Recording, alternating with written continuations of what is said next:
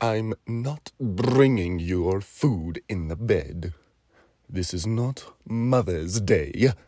And you are not a mother. She deserves breakfast in bed!